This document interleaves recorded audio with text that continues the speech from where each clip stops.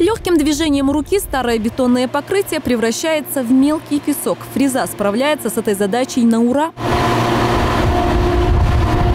Только за один день рабочие сняли две с половиной тысячи квадратных метров поврежденного асфальта на улице Космодемьянская. Дорога давно нуждалась в ремонте. Неподалеку активно строятся жилые комплексы. Тяжелая техника изрядно потрепала дорожное покрытие. Жители неоднократно жаловались на ямы и трещины. В данный момент э, по улицам Акатова, от э, транспортной развязки Акатова до улицы Зои Космодемьянской, также улица Зои Космодемьянской, и улица Первая Поселковая. Здесь э, проходит аварийно-восстановительный ремонт проезжей части, то есть э, как вообще выглядит сама структура работы.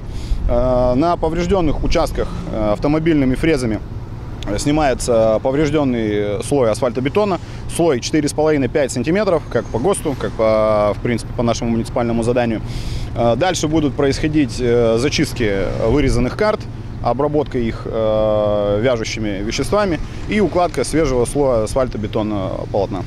Если погода не вмешается, то работы на этом участке закончат уже на этой неделе. А вот ямочный ремонт на Спортивной, Юмашева и Борисенко только планируют начать. Для этого задействованы пять подрядчиков. В городской администрации отметили, в план ямочного ремонта в первую очередь попадают дороги, где наиболее интенсивное движение. Также в приоритете проезды к жилым массивам. Ремонт поврежденных участков в городе планируется завершить до 30 июня.